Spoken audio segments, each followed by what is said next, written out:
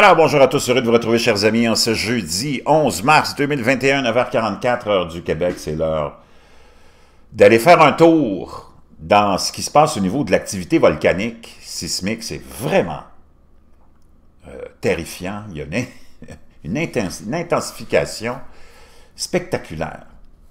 Spectaculaire. J'espère que vous allez bien, malgré tout. C'est jeudi, jour de paye pour ceux qui travaillent. En tout cas, ici en Amérique, c'est comme ça que ça marche. Je sais qu'en Europe, vous êtes payé quoi une fois à tous les mois, mais ici, souvent, c'est aux deux semaines et le jeudi, donc profitez de votre paye. Imaginez-vous, avant d'aller voir ça, il y a encore un tremblement mystérieux qui a secoué à nouveau le comté de Santiago. Donc, depuis des années, je vous en parle, vous, en vous le savez, vous faites vos propres recherches aussi. On a beaucoup, beaucoup à travers le monde, ce n'est pas seulement aux États-Unis ou en France ou en Angleterre, c'est de partout on a des, euh, des gens qui nous rapportent, et en grand nombre, et qui même contactent les autorités souvent policières de leur, de leur pays, de leur comté respectif, des grands tremblements de terre, des booms, on entend des booms fréquemment, la terre tremble, les maisons tremblent, les fenêtres tremblent, et on n'a jamais vraiment d'explication. Une fois de temps à autre, on explique ça par euh, le passage d'un avion supersonique ou d'un jet supersonique, ça peut arriver, mais à chaque cas, il y en a des, des centaines et des centaines euh, par année et plus, et même des milliers. Euh, on n'a pas beaucoup d'explications pour ça. Et là, c'est arrivé à nouveau, le, le, cas dont on parle ici, qui est rapporté par le Santiago Union Tribune, hein, c'est euh, des résidents de Rancho Bernardo à Chula Vista, en passant par El Cajon, qui ont déclaré avoir ressenti et entendu un tremblement et un boom lors d'un événement similaire à celui du 16 février, parce qu'ils en avaient entendu un le 16 février. Là, ils en ont eu un autre hier, c'est le 10 mars 2021, 18h02, que ça a été publié par le Santiago Union Tribune. Pour la deuxième fois environ en trois semaines, des habitants du comté de Santiago ont déclaré avoir ressenti un tremblement mystérieux ou, dans certains cas, entendu un fort boom. Tard dans l'après-midi, le United States Geological Survey, la fameuse USGS, n'a signalé aucune activité sismique dans la région. Mais vers 16h55, des gens euh, au moins aussi loin au nord que Rancho Bernardo, aussi loin au sud que Chula Vista et aussi loin à l'est qu'El Cajon, ont signalé avoir ressenti des tremblements.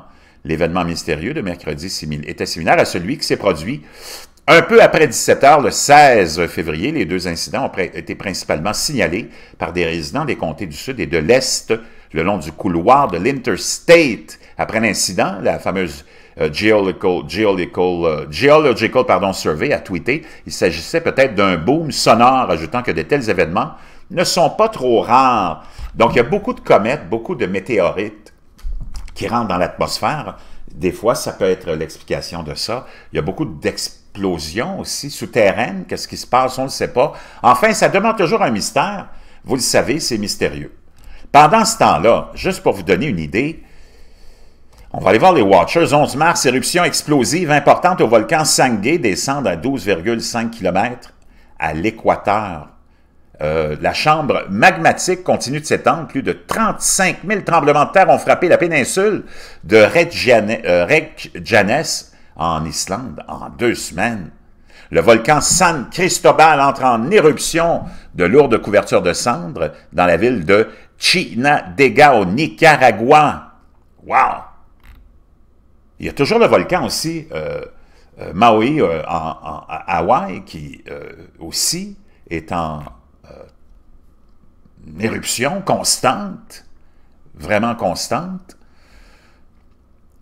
Et on a aussi une augmentation de l'activité effusive et forte émission de lave sur le volcan Pacaya au Guatemala.